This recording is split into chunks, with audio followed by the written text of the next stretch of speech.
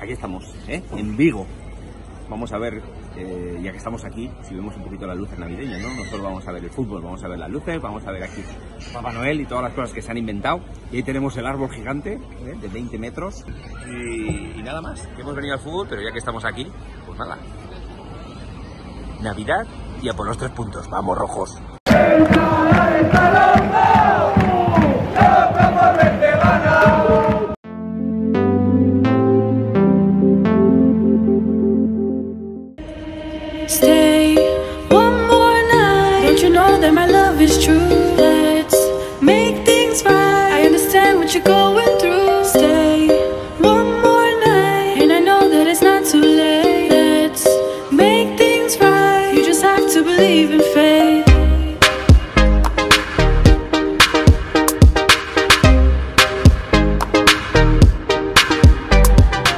Tantas luces de Navidad, está bien, está bonito.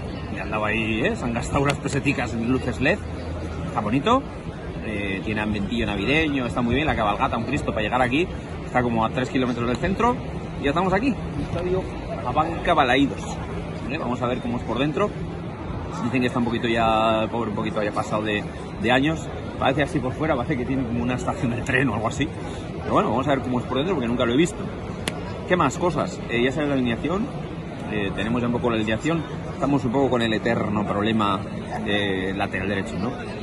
No se ha recuperado para hacer Nacho Vidal, bueno, que está en el banquillo. Pero entra Moncayola. Lillo ya lo tenemos en casa. Con Carles Alzonao. No sé, no creo que sea la mejor solución que un, eh, un medio centro juegue lateral derecho. Pero bueno, Moncayola las veces que ha ido, pues, que, ha, que ha salido lateral, pues ha cumplido. Ha hecho lo mejor posible.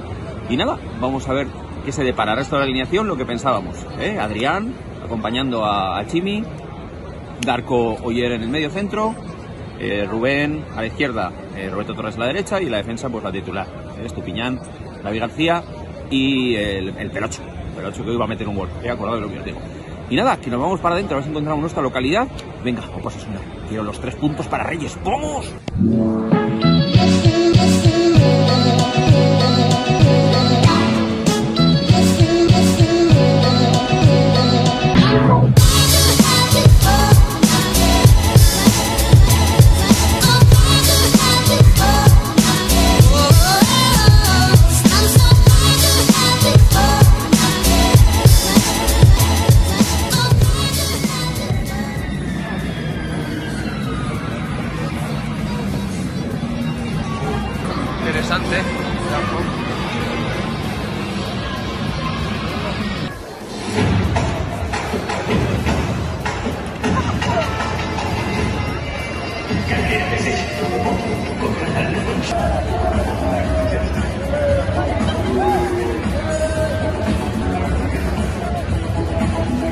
Esto está muy vacío, señores. Quedan exactamente 19 minutos para empezar el partido.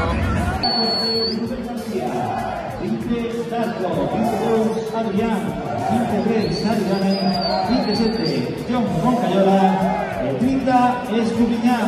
Cuatro suplentes están con número 26 Juan Pérez, con Nacho Vidal, 4 Unai García, 7 Cardona, 0-0, ¿eh? Vamos al descanso. Partido, partido aburrido. ¿eh? Ha habido casi de luz final, ¿no? De Rubén que ha tenido ahí el fallo del portero. La tira, ha ido al, al poste, ¿no?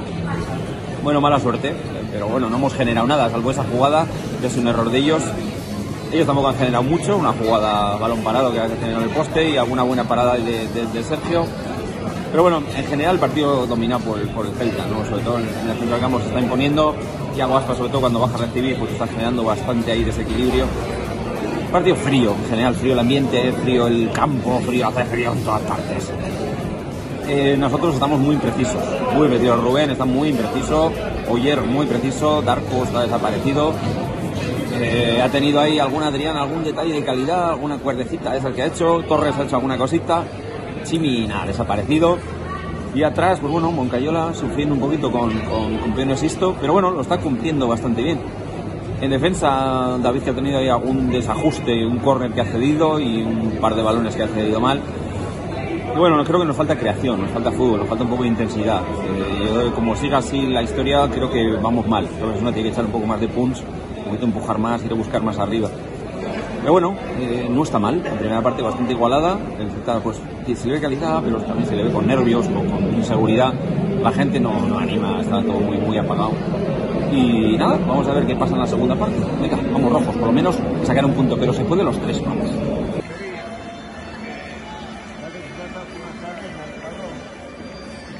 Bien, Chimi, bien.